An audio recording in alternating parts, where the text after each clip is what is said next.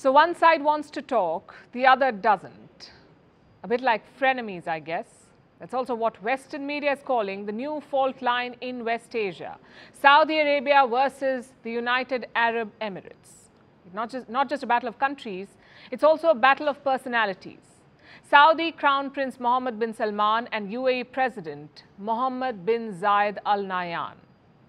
Both are better known by acronyms MBS and MBZ. So, what are they fighting about? Leadership of the Arab world and the Gulf. Now, don't think of this as a conflict, it's more of a rivalry and a personal one at that. Both these rulers have an interesting past. MBS is all of 37 years old, MBZ, the Emirati, 62 years old. They started off as mentor and protege. MBZ groomed the younger Saudi ruler. He lobbied for him in Washington. But now the dynamic is changing. Let me tell you what happened in December last year. MBS gathered some journalists in Riyadh. It was supposed to be an off the record briefing. But his statements have now leaked. And what did MBS say? He accused the UAE of backstabbing Riyadh. He also threatened to blockade them. His exact words were these It will be worse than what I did with Qatar. Now, this is big. It's like Joe Biden accusing Justin Trudeau of betraying him, or Rishi Sunak threatening to blockade the US. Saudi Arabia and the UAE are long-time allies. They share historical and religious ties. So why the fallout? Reports say MBS and MBZ have not spoken to each other in six months. We have a war going on. Oil prices are so volatile. Iran is capturing tankers. So you would assume the two leaders will be in contact. But why aren't they? Because differences are rising and three of them stand out. One is financial interests. The UAE has long been the commercial hub of West Asia. It's more liberal than Saudi Arabia. So all the Western companies were based in Dubai and Abu Dhabi. MBS wants to change that. He wants these companies to shift to Riyadh, to Saudi Arabia. How does he plan to do that? By boosting Saudi Arabia's soft power. He bought multiple football clubs in the West. He also bought, brought Western superstars to play in domestic leagues. It's all part of the appeal. And for MBS, this is do or die. The world is gradually shifting away from oil. Technology is the next big thing. And on that, the UAE has a head start. If Riyadh does not catch up, it could lose its regional leadership.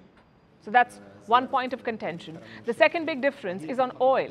Saudi Arabia has aligned itself with Russia. Together, they have cut oil output to keep prices up. Reports say the UAE does not agree with this.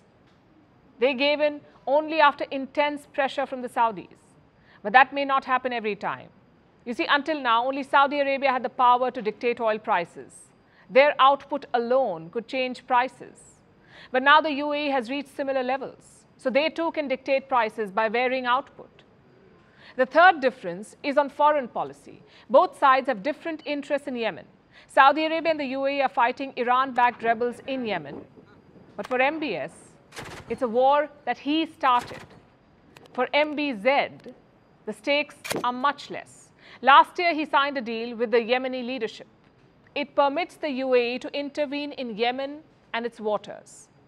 Naturally, the Saudi leader MBS did not like it. He felt like he'd been one upped. So he responded with diplomatic moves of his own. First, he normalized relations with Iran, and then he welcomed Syria back into the Arab League. And our reports say he's keen on recognizing Israel too. It's a game of geopolitical chess, really. The question is, how does it end? MBS has reportedly sent a list of demands to the UAE. But will MBZ accept? He's apparently warned the Saudi leader about his rogue actions. He thinks MBS is taking way too many risks, like getting closer to Russia or striking a deal with Iran. It's hard to say how this rivalry will unfold in the next decades. The Saudi leader is still in his 30s. He will be ruler much longer than MBZ. Plus, Riyadh is the custodian of Islam's holiest sites. That position is unshakable. The chances of this rivalry becoming violent are remote, but you can't rule out outside interference. Just think about it two regional powers locked in a Cold War of sorts. It's the perfect chance for powers like China to meddle to maybe take sides and make it worse. Either way, this is a rivalry the whole world will watch out for, including folks ah. here in India. We have excellent ties with both these leaders, MBS and MBZ. A united Saudi-UAE alliance is in India and the world's interest. As long as they have a working relationship, the world should not mind. It's best if the rivalry is limited to Manchester City versus Newcastle United. Beyond that, it can be worrying. After all, it's not like either of them will be voted out.